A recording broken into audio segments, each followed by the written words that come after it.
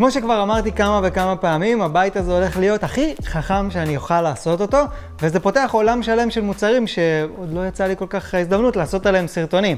והיום זה בדיוק אחד מהדברים האלה, מזגן חכם של LG, כמו שהם קוראים לו הדואל אינוורטר. וכן, הסרטון הזה נעשה בשיתוף LG ששלחו אליי שני מזגנים עיליים שלהם, הכי גדול והכי קטן מבין סדרה של ארבעה. אז אין ספק שמזגן זה אחד הדברים הכי חשובים בבית, אנחנו חיים במדינה חמה ולחה, ואי אפשר לחיות בלי מזגן, וכמובן, חשוב שהמזגן יהיה גם טוב, ומעל הכל שקט, כי אני ממש ממש רגיש לרעשים של מכשירים חשמליים.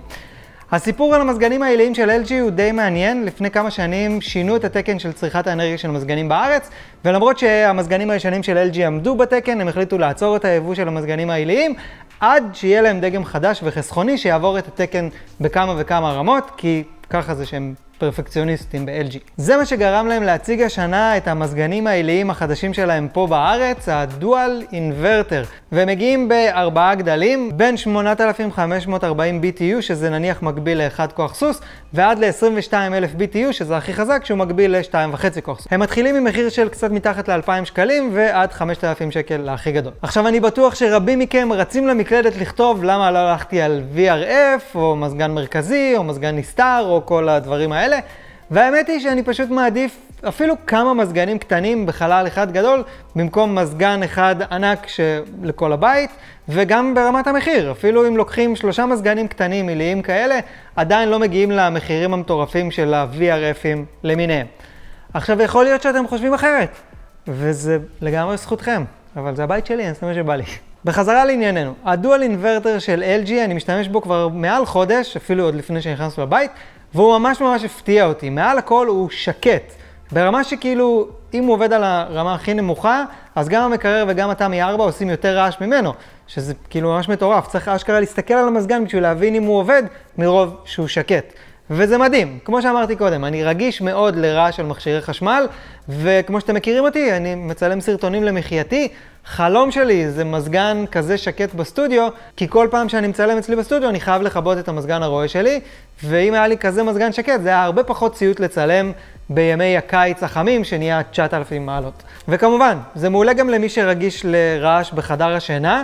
אגב, פה בחלל הקטן יותר שמנו את הדגם הכי קטן, והוא מקפיא את החלל הזה בלי שום בעיה, וגם בצורה מאוד מאוד שקטה. אבל היחידה הפנימית היא לא הדבר היחיד שעושה רעש, כי בחוץ יש לנו את היחידה החיצונית עם המדחס, ונכון, לרוב זה בחוץ ולא שומעים את זה בתוך הבית, אז זה כאילו לא נורא, אבל אז נשאלת השאלה, כמה אתם אוהבים את השכנים שלכם, והאם המדחס שלכם יושב להם במקרה בדיוק מול החלון. אז גם במקרה הזה, המדחס ממש ממש שקט, בקושי מרגישים שיש מזגן שעובד בתוך הבית, שזה באמת מדהים, וזה גם עוזר להתחשב בזיהום רעש הסביבתי שאנחנו מייצרים. ברמת העיצוב הוא נראה אחלה. אני כאילו לא יכול להגיד שבכללי מזגן עילי מכל סוג שהוא זה דבר יפה, אבל הוא לבן ובעיצוב מאוד נקי, המסך שלו מוטמע בתוך הגוף והוא נראה טוב, ואפשר כמובן גם להחליט אם רוצים לכבות את התאורה שלו, גם שהוא פועל, למי מכם שרגיש לכל אור קטן, בעיקר בחדר שינה בלילה. אוקיי, אז הדואל אינוורטר שקט בפנים, שקט בחוץ, מעוצב אחלה, וזה הכל טוב ויפה,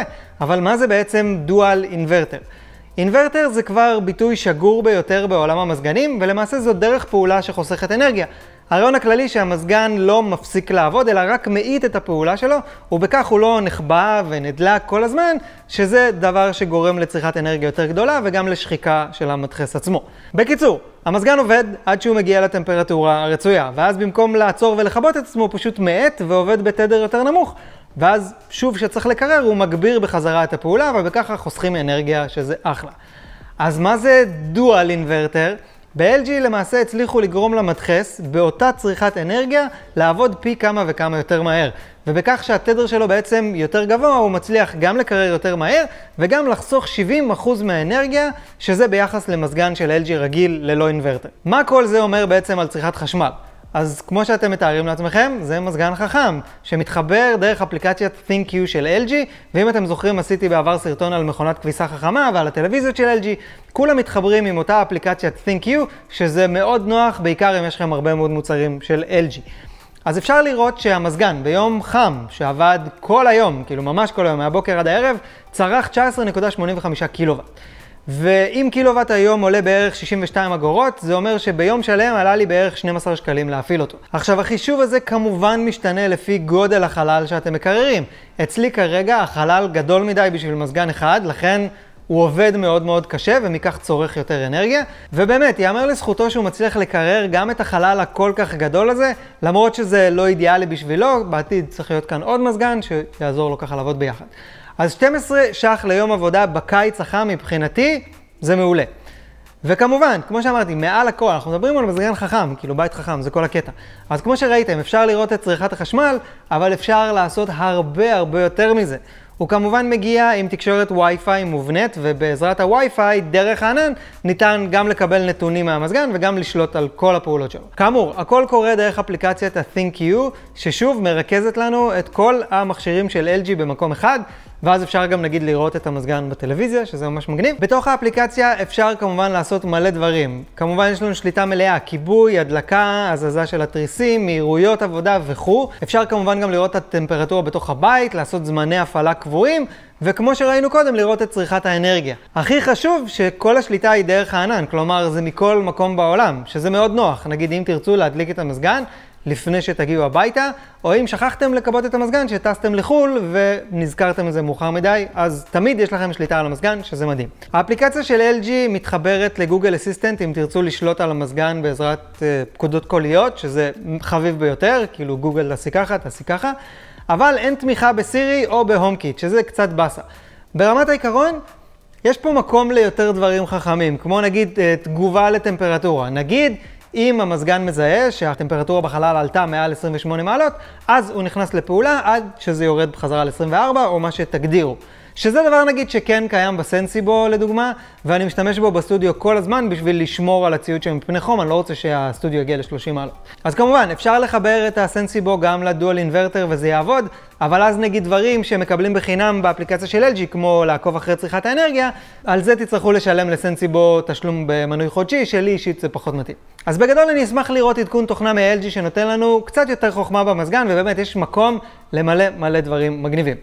לסיכום, בחודש הראשון של העבודה עם הדואל אינוורטר, אני מאוד מרוצה. הוא שקט, הוא חסכוני, הוא יעיל והוא חכם. וזה בתכלס כל הדברים שאני רוצה ממזגן. הדבר הבא שאני רוצה זה אמינות לאורך השנים, וכמובן שזה כל הקטע במזגן. אז אני מבטיח לעדכן אתכם למשך השנים, בסטורי, באינסטגרם, בכל המקומות האלה, איך ה Dual Inverter תפקד אחרי שהוא עבד ועבד ועבד ועבד ועבד. אז תודה רבה ל-LG ששלחו את המזגנים האלה לטובת הסרטון, ואם אהבתם את הסוג הזה של הסרטונים על מוצרים לבנים או מוצרים חכמים לבית, תנו בלייק לסרטון וסאב לערוץ, ואני מבטיח שאני אעשה עוד כאלה. תודה רבה שצפיתם, ונתראה בסרטון הבא. Bye!